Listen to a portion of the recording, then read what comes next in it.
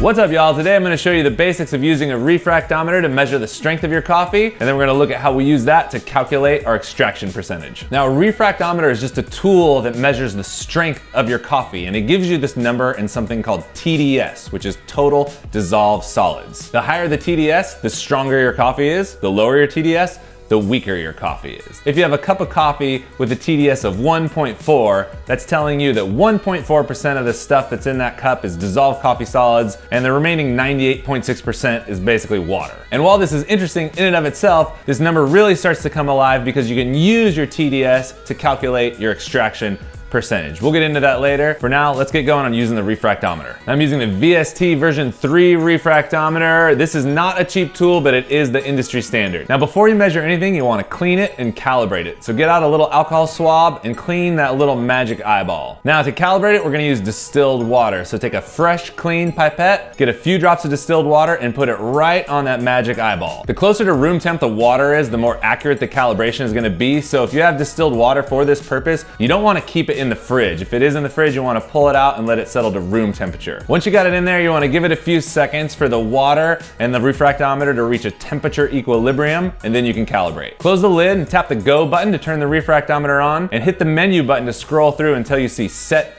zero. Once you see set zero, hit the go button again to start calibration. It'll let you know it's reading and you might see the light turn off on the display. This is okay. Once it says ready, you're calibrated and ready to roll. So clean off the eye with a paper towel and then hit it with the alcohol swab again just to make sure it's clean. The cleaner it is, the more accurate and consistent your readings are gonna be. Now we can take some readings. So the first thing to do is take your coffee sample and make sure you de-stratify it. Stir the crap out of it. You wanna make sure the sample you're getting is a representation of the brew in its entirety and not just one part of the extraction. Use a syringe to suck up coffee. You don't need to fill the syringe up and screw a filter on the end of the syringe. Once you've got the coffee in the syringe and the filter on the end of the syringe, don't put it straight onto the refractometer. You wanna put it into another clean cup. And what this is gonna do is gonna bring down the temperature of the sample. So this thing's gonna read its most accurate when everything's close to room temperature. From there, you're gonna take another clean pipette and use that to transfer your coffee sample onto the eye of the refractometer. Close your lid, press go, wait a few seconds, and a number's gonna pop up. That is the TDS of your coffee. All right, now that we know our TDS, we can calculate our extraction percentage. Our extraction percentage tells us what percent of the coffee ground's weight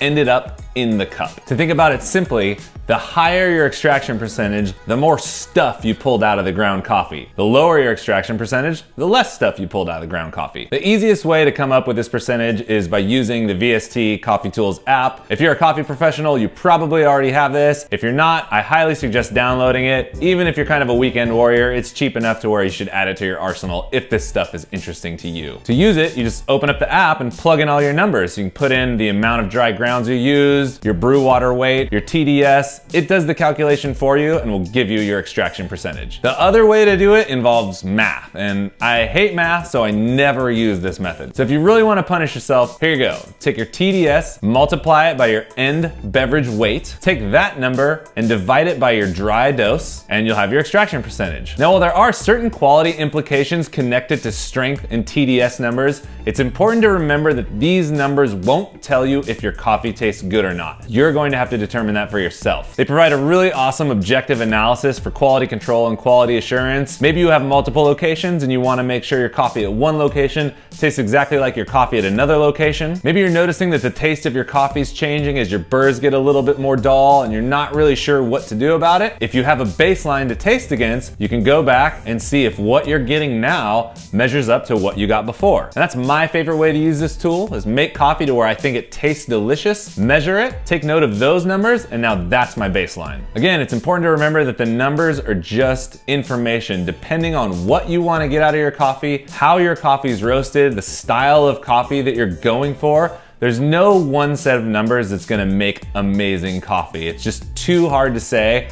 that 1.35 at 21% extraction is gonna make all coffees awesome all the time. It just doesn't work like that. So to get the most out of a tool like this, you really wanna blend your palate with a little bit of the science that goes with it. That being said, if you're new to coffee and you really want to have some numbers to go by, a TDS of 1.15 to 1.55 with an extraction percentage between 18 and 22% is generally considered normal. That's it, y'all. Welcome to the wonderful, sometimes crazy world of refractometers. Stay dialed, and I will catch you on the flip side. Peace.